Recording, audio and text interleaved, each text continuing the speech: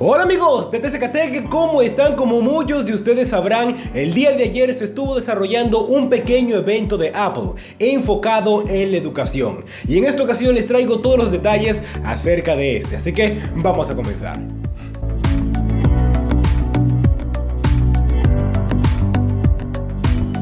Bueno gente, muchos de nosotros teníamos la expectativa de que Apple en este evento iba a lanzar varios productos. Entre estos pensamos que iba a lanzar una nueva computadora, pero solo lanzó una nueva iPad, como la llaman ahora la iPad 2018, la cual es compatible con el Apple Pen o Apple Pencil. Y lo que llamó mucho la atención es que Apple la lanzó a un precio bien rebajado, que son 329 dólares o 330. Y para los estudiantes va a tener un 15% de descuento en donde la podrían encontrar a un precio de 299 dólares, o sea, unos 300 dólares, dándole la compañía una rebaja de 30 dólares. Y hablando un poco de las características técnicas de esta iPad, esta cuenta con una pantalla de 9,7 pulgadas y también trae el procesador A10 Fusion, que es el que trajo en su tiempo el iPhone 7 Plus. También trae 2 GB de memoria RAM y también 32 GB de almacenamiento interno. Esta iPad también cuenta con Touch ID para poder desbloquear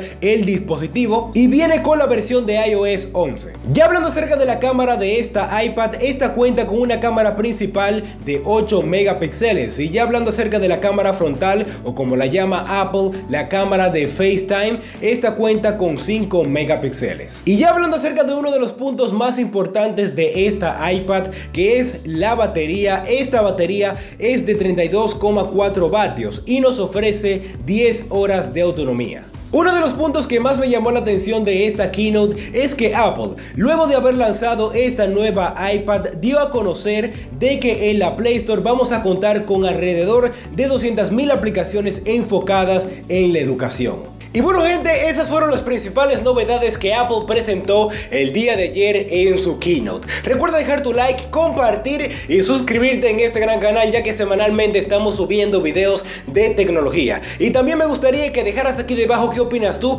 acerca de esta nueva iPad y también las nuevas aplicaciones. Y hasta la próxima entrega de TCK Tech. Bueno, ya se acabó el guion.